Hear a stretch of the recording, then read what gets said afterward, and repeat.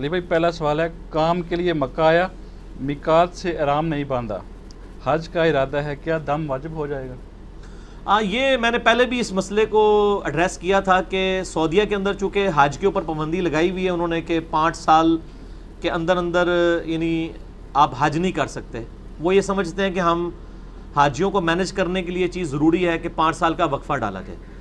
تو جو لوگ اب مکے میں رہ رہے ہیں بےچارے تین سال کے، چار سال کے کانٹریکٹ پہ گئے ہوئے ہیں، ان کی تو خواہش ہوتی ہے کہ یار پتہ نہیں دوبارہ آنا نصیب ہو یا نہ ہو۔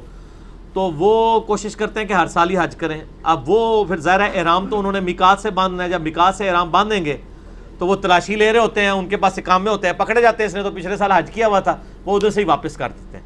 تو اس کا انہوں نے پھر ایک ایک سمجھ لیں ہیلا نکالا ہوا ہے۔ وہ یہ کرتے ہیں کہ بغیر احرام کے نکلتے ہیں۔ اور مکات کو کراس کر کے مکے میں پہنچ جاتے ہیں، وہاں جا کے احرام پہن لیتے ہیں۔ پھر وہ کہتے ہیں، ہم اب یہاں پہ احرام پہن لیتے ہیں۔ اور یہ جو ہم سے غلطی ہوئی، ہم اس کے اگینسٹ ایک دم دے دیتے ہیں۔ تو یہ ٹیلر میڈ انہوں نے کیا ہوا ہے۔ اس طرح حج نہیں ہوتا۔ یہ اسی طریقے سے ٹیلر میڈ ہے کہ آپ جان بوجھ کے نماز میں کوئی غلطی کریں اور اینڈ پہ سجدہ صاحب کر دیں۔ تو نماز نہیں ہوگی۔ اگر وہ غلطی ایسی تھی جو سجدہ صاحب کو واجب کرتی تھی، اگرچہ آپ نے سجدہ صاحب کر لیا، لیکن آپ نے چونکہ غلطی جان بوجھ کے کی ہے تو یہ سب کا اتفاق ہے اس کے اوپر۔ اجماع ہے کہ نماز جو ہے وہ دوبارہ ہی پڑھنی پڑے گی۔ اور اگر فرض چھوٹ گیا تو وہ تو سجدہ صاحب آپ جان بوجھ کے چھوٹا یا بھول کے چھوٹا، جب بھی فرض چھوٹے گا تو نماز دوبارہ ہی پڑھنی ہوگی۔ یہاں پر بھی اس طریقے سے حج نہیں ہوگا دم دینے سے۔ اور اس میں ایک اور ایشو بھی ہوتا ہے۔ بعض اوقات لوگوں میں یہ بھی ہوتا ہے کہ لوگ مکے کسی اپنے کام سے گئے ہوتے ہیں۔ تو فقہ انفی نے یہ مسئلہ بنایا ہوا ہے کہ جو شخص بھی مکے جائے گا، اس کے اوپر حج کرنا عمرہ کرنا واجب ہے۔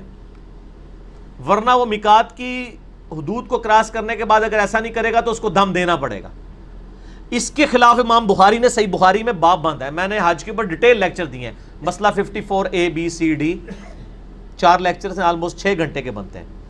تین جو ہیں وہ عمرے اور حج پہ اور تین روزہ رسول کی حاضری پہ ہیں، صلی اللہ علیہ وآلہ وسلم۔ تو اس میں میں نے بتایا تھا کہ اس طریقے سے یعنی لوگ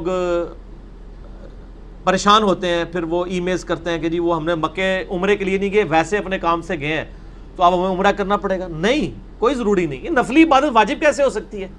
جو خود ہی نفلی ہے۔ تو امام بخاری نے باب باندھا ہے کہ نبی صلی اللہ علیہ وآلہ وسلم مکے میں داخل ہوئے اس حال میں کہ آپ نے کالا امامہ زیب تن کیا ہوا تھا۔ یہ صحیح مسلم میں بھی ہے، بخاری میں بھی ہے۔ امام بخاری نے اس پہ باب باندھا ہے کہ اگر کوئی شخص حج اور عمرے کی نیت نہ رکھتا ہو تو بغیر احرام کے وہ حرم شریف میں داخل ہو سکتا ہے۔ تو یہ فقہ نفی کے رد پہ باب باندھا ہے انہوں نے۔ تو یہ کوئی واجب نہیں ہے۔ اگر کسی کی نیت نہیں ہے۔ جب نیت ہے تو پھر تو ظاہر ہے، ضروری ہے۔ اور اگر وہاں پہنچ کے کسی کی نیت ہوتی ہے کہ جی میں اب کر لوں، واپس آئے، مکات کراس کریں۔ مکات پہ آنا پڑے گا۔ اور یہ جو تنعیم پہ جاتے ہیں، سیدہ عائشہ کے نام پہ جو مسجد بنی ہوئی ہے، وہ تو حیض والی عورت کے لیے نبی الاسلام نے ان کی دل جوئی کے لیے فرمایا تھا۔ ادروائز یہ تو نہیں کہ آپ نے ایک سفر میں نبی الاسلام نے ایک ہی عمرہ کیا ہے حج کے ساتھ۔ ایک سے زیادہ عمرے کرنا بدت ہے۔ اور یہ اتنی بڑی بدت ہے کہ اس کو حنفی بھی بدت مانتے ہیں۔ باقی تو کہتے ہی کہتے ہیں۔ اجماع ہے اس کے اوپر کہ ایک سفر میں ایک حج عمرہ ہی ہوگا۔ ٹھیک ہوگا جی